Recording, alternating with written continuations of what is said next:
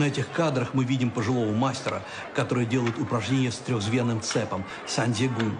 Это старая шаолинская традиция, очень сложная, требующая очень большой координации движений.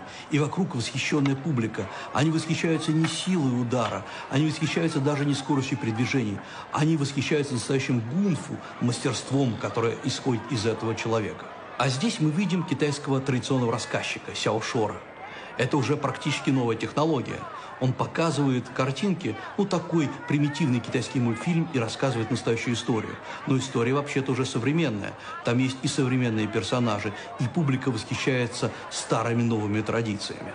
Китайцы вообще очень любят зрелище. Они любят мастерство в этом зрелище. На этих кадрах мы видим традиционное китайское искусство изготовления фигурок из жженого сахара. Оно, кстати говоря, сохранилось и сегодня, но оно уходит своими корнями в 18 век, и надо обладать немалым мастерством, чтобы делать э, драконов, лошадок, и самое главное, что все, что делается, тут же съедается. То есть высокое искусство практически сразу же идет в народ.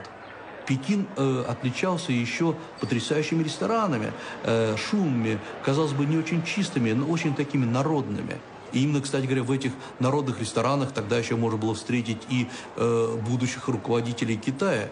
И самое главное, туда ходили и члены Политбюро, и члены ЦК, и буквально впрямую общались с народом. То есть Пекин был очень своим, очень национальным городом. В китайской кухне каждое блюдо всегда имело особый смысл и толкование. Например, рыба на праздничном столе – это пожелание изобилия, а курица – удачи. Однажды я с одной соотечественной был, и она заинтересовалась лапшой. Почему китайцы так они хорошо к этому относятся? Я ей сказал, что лапша – это символ долголетия. Она должна быть длинной, как человеческая жизнь. И когда мы наматываем на